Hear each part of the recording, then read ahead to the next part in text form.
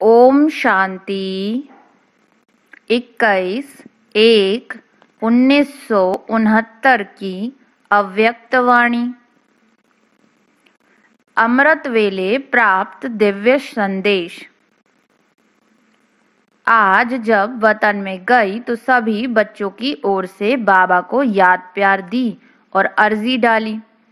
ब्रह्मा बाबा को भी अर्जी डाली।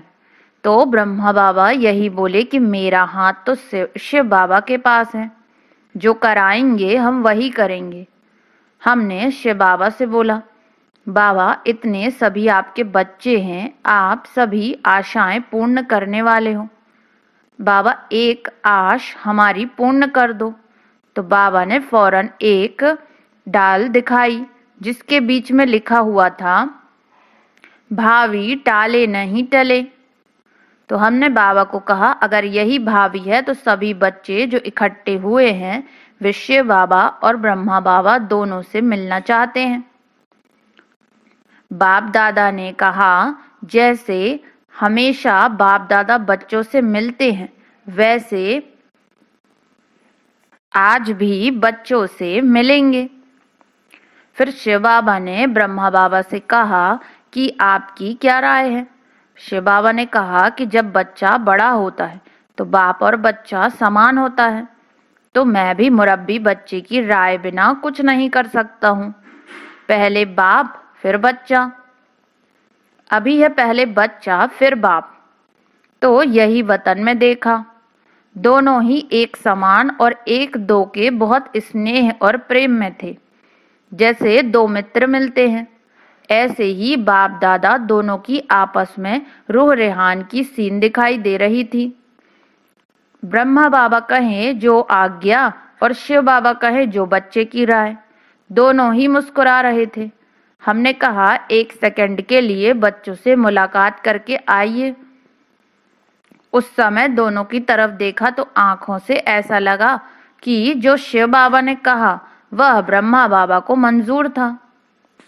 बाप दादा गुलजार संदेशी के तन में पधारे और महावाक्य उच्चारण किए। आपको आकारी बनाने बाप दादा अभी भी कायम है और कायम रहेगा। अभी बाप दादा आप रूहानी रत्नों से मिल विदाई लेते हैं, फिर मिलेंगे। जो होता है उसमें कल्याण है। बाप दादा और कल्याण, और कोई शब्द नहीं। संदेशी के वापस आने पर वतन का संदेश। बाबा ने कहा, प्यार और याद जैसे इस समय हर एक के अंदर बाबा देख कर आए हैं।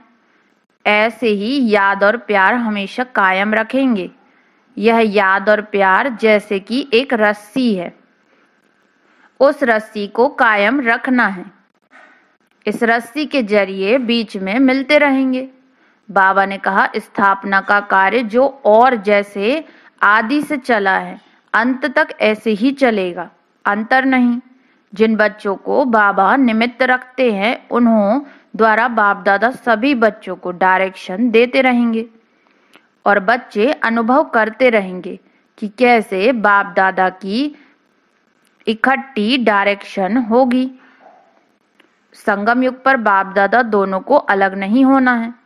बाबा ने कहा, सभी को दो शब्द कहना, अटल और अखंड। यह बाप दादा दोनों की सौगात है। जैसे कोई बड़े लोग कहाँ जाते हैं तो सौगात देते हैं। ऐसे बाप दादा दोनों ही दो शब्दों की सौगात देते हैं, अटल और अखंड। इसे बुद्धि रूपी तिजोरी में ऐसे रखें, जो कितना भी कोई चुराने की कोशिश करे तो भी सौगात साथ रहे। फिर बाबा ने कहा, अब थोड़े समय के लिए विदाई लेता हूँ। फिर जैसे जैसे कार्य होगा डायरेक्शन देता रहूँगा। अच्छा ओम शांति। आप दृष्टि